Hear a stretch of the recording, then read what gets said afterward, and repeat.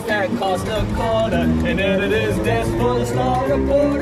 Tip your hat, he's the king of New York.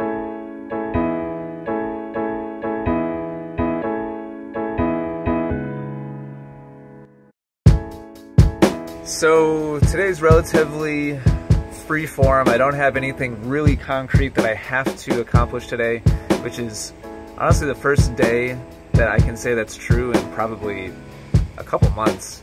I do need to uh, record a tip of the day for Academy, which I'm probably going to do right now, and uh, going to catch up on the, the forum, going to catch up on my inbox, which I do about once per week. And that, by the way, is probably one of the biggest productivity habits that I've set for myself over the last several years is just ha making the having the realization that the vast majority of email is just a waste of time. and I don't I don't mean to uh, make it sound like it's it's unimportant. It's important to stay in touch for me with our audience. It's important to have my finger on the pulse of what people want, what people's problems are. But here's the thing, it's all about how you schedule that process. For most people, they are completely reactionary. They've got their inbox open all day and they're responding to things as they come in. And that means that you are prioritizing your time based on other people's wants, needs, and problems. And if that's your job, if you know like Darius, for example, that, that's his job. But that's that's why I, I hired him is to is to stay on top of those tasks. He's our customer service person. That's his full-time job is to take care of those things. My full-time job is to keep the company moving forwards. And that will only happen if I have very, very fine focus on the fundamental elements that make those those needles actually move as far as our our reach, our revenue, our number of students and followers, etc. And prioritizing everybody else's problems ahead of those tasks will not accomplish our goals.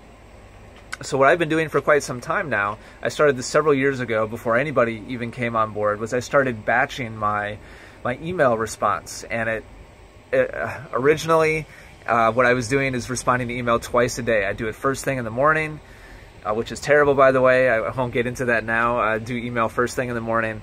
Uh, I was doing it first thing in the morning and then last thing before I wrapped up for the day. And then as I started getting help with the inbox, I started decreasing that more and more and more. Now I'm to the point where I'm replying to email about once a week. And so everything that's accumulated that only I can take care of I take care of that once per week. And it takes about an hour, maybe an hour and a half. And then I, for the most part, ignore the inbox the whole rest of the week. So what that does is it frees up my time tremendously and uh, increases my focus on what needs to be accomplished in the in the office tremendously. And it's a big productivity increase over taking care of and putting out all those little fires here and there.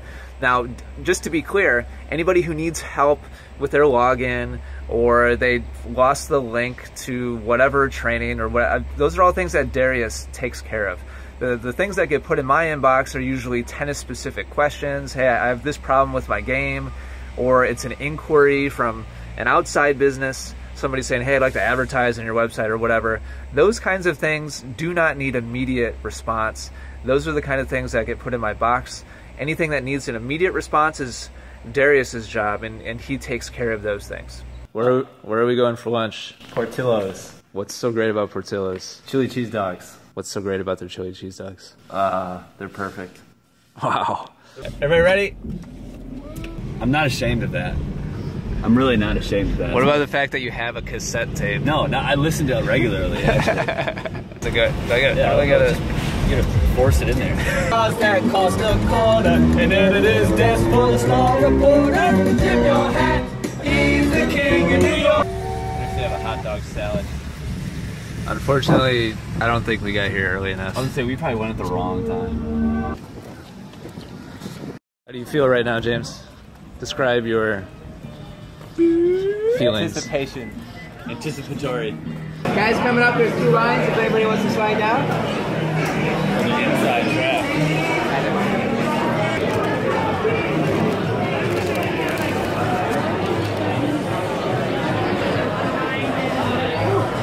Scale one to ten. What do you give Portillo's first experience? 8.2. Alright, Solid, James. Ah, oh, I'm a little disappointed. I haven't had it in a while. I'd probably seven and a half. Seven and a half. Yeah, it's still good. How are you, how are you feeling, Darius? Ask me again after I throw up. it was good. Throw up out of your I mouth just or throw up out of your butt? Darius, Darius ate a burger and and uh, what did you? a double And a double cheeseburger and, and a uh, chili, uh, chili cheese- cheese dog Nice, nice. and fries. All right, just got back from lunch. Now I'm going to jump on a call with the marketing consultant that is likely going to start helping us out.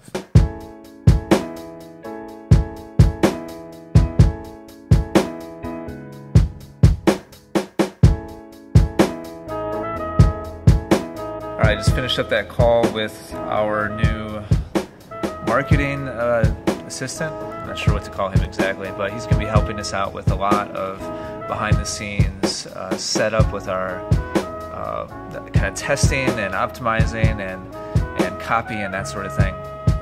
Uh, now I have two minutes left until another call with the owner of another website that a friend of mine set me up.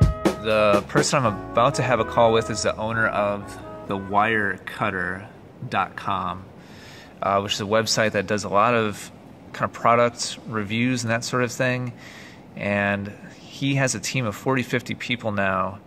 And he got set up with me by a mutual friend, basically, and gonna pick his brain a little bit about growth and online business. All right, a really, really good couple of calls today with a few different people. Uh, Wilson rep talked about potential uh, deal between Essential Tennis and uh, Wilson, and just finished that call with the CEO of the Wirecutter.com. That was really, really helpful, inspiring call for me. Uh, really pretty amazing guy and uh, gave me a, a good kick in the pants spending a, a, bit of time with him on the phone and experiencing his level of uh, focus and uh, directness, uh, which I appreciated a lot. Uh, I'm going to wrap up a couple things here at the office and then head home for the weekend. Seems kind of crazy that this is the the middle now of my four week challenge to myself to do a daily vlog. This is number 10, halfway halfway through.